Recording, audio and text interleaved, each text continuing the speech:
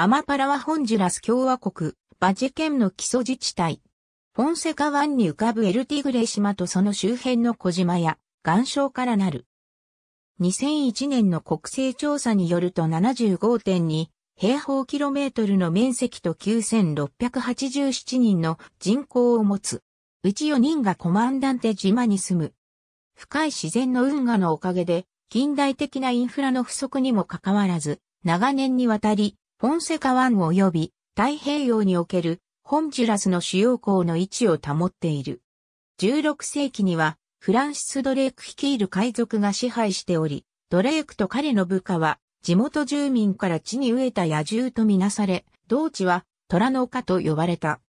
アマパラの名はナワトル語から派生し、アマテスに近いを意味するという説、工事クワイロー方言で、トウモロコシの丘を意味するという説がある。1800年代後半からアマパラは徐々に大陸部のサンロレンツォ港にとって変わられた。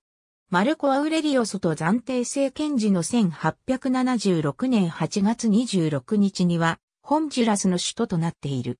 メアリー・レスターによるエーレディーズ・ライド・アクロスに1881年におけるアマパラの島及び都市の記述を見つけることができる。1890年代終盤には中央アメリカ大共和国の首都となった。顕著な寒気がある。欠片の気候分類によると、熱帯サバンナ気候に属する。ありがとうございます。